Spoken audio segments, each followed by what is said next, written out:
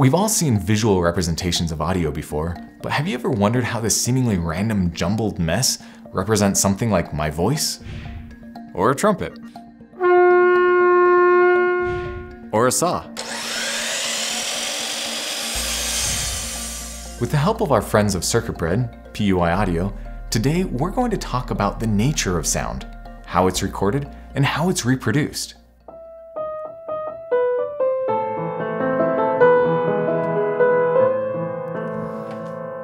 The key thing to realize is that my question was inherently wrong. Sound is not a series of points, it's, it's movement. The real question I should have been asking is how did the movement between these points create that sound? And now we're on the right track. At its foundation, sound is simply energy. It's the energy that propagates through a medium, we typically consider it to be air, though it could be any gas, liquid, or solid. With this medium, particles move closer together and farther apart in a wave, pushing whatever they hit with varying levels of force. With waves, you get more force from greater amplitudes. In acoustics, greater amplitude means louder sounds. When you look at a transverse wave, it's easy to envision amplitude because it just means the wave is taller. However, with an acoustic longitudinal wave, it's a little bit harder to visualize. For longitudinal waves, acoustic amplitude is simply a measure of how close the particles of the medium are jammed together at their most compressed and how spread apart they are at their least compressed during rarefaction. Besides amplitude, frequency is one of the fundamental aspects of sound. The different frequencies, from high pitches to low, it's all down to how spread apart the compressed and rarefied parts of the wave are. Again, it's easier to see the difference in frequency on a transverse wave versus a longitudinal wave as we range from a low frequency wave up to a high frequency wave. For us to hear, the energy from these waves passing through the air hits our eardrums, a biological process of which the people in the medical field know much better than I do. But while similar, this still doesn't show us how sound is recorded and reproduced by modern equipment. While there are different microphone technologies out there, they all operate on the same basic principle. Incoming sound waves bounce off of a diaphragm, and as that diaphragm moves, it generates a voltage. This voltage is usually created by either moving a coil of wire around a magnet or bending a piezoelectric material, but there are other methods as well. So with this microphone hooked up to the oscilloscope, you can actually see my voice input going into it. But to see a more pure sine wave, let's do a little bit of whistling.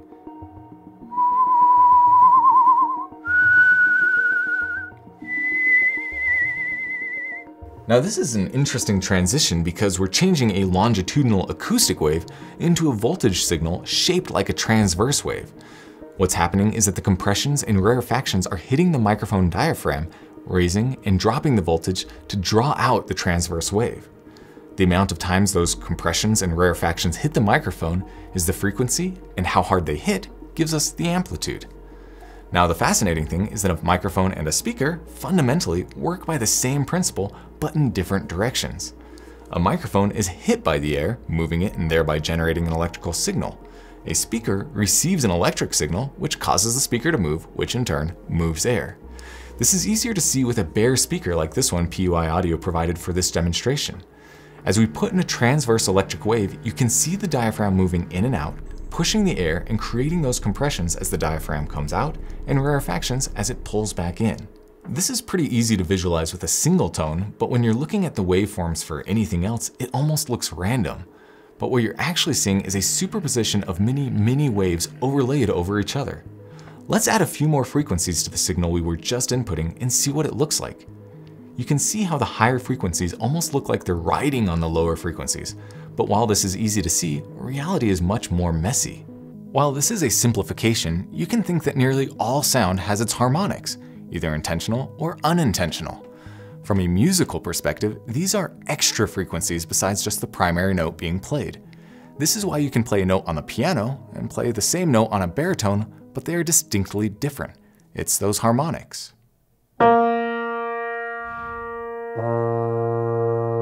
Other, non-musical sounds can be an even more random assortment of frequencies.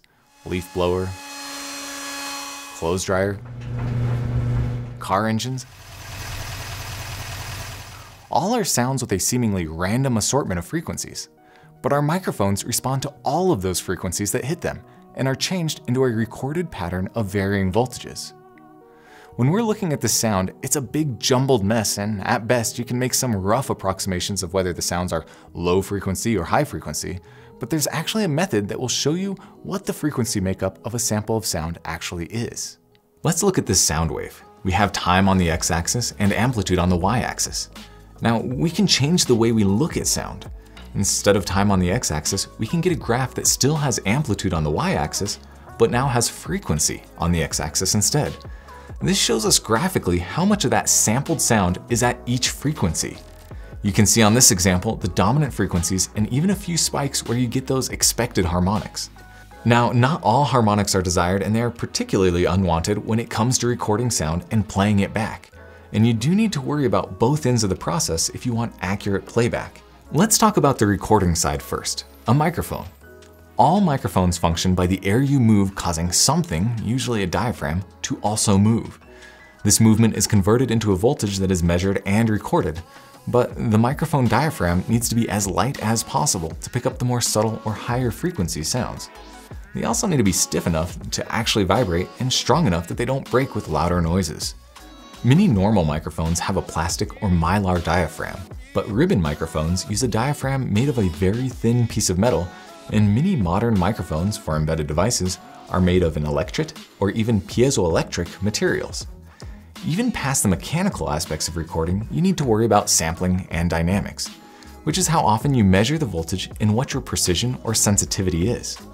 These questions and more have all been well researched and industry standards are in place, but while there's something you and I may take for granted, audio engineers do not. Once we have a well-recorded piece of music, it's now time to listen to it. There are many of the same challenges with the materials used. You want a speaker that is light enough that it can move and change direction quickly, but stiff enough not to bend while pushing the air.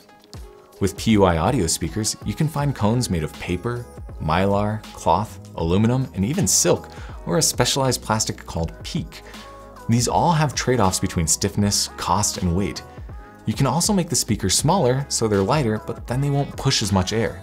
This is why sound systems are usually made up of a variety of different sized speakers. High quality materials and engineering can expand the range of speakers, but bigger, heavier speakers tend to do better with lower frequencies, while smaller, lighter speakers tend to more accurately recreate higher frequencies.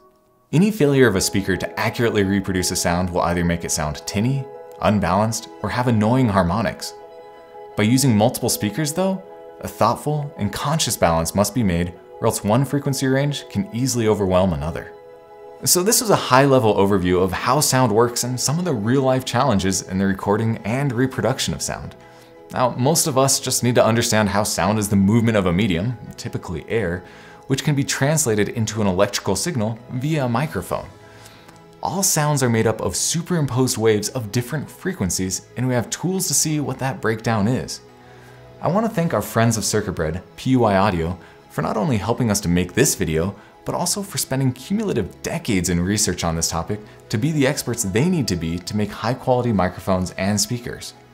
If you want to learn more about electronics, electrical engineering, and all things audio, go check out our friends at PUI Audio on circuitbread.com or puiaudio.com, where you have a lot more educational content for aspiring engineers.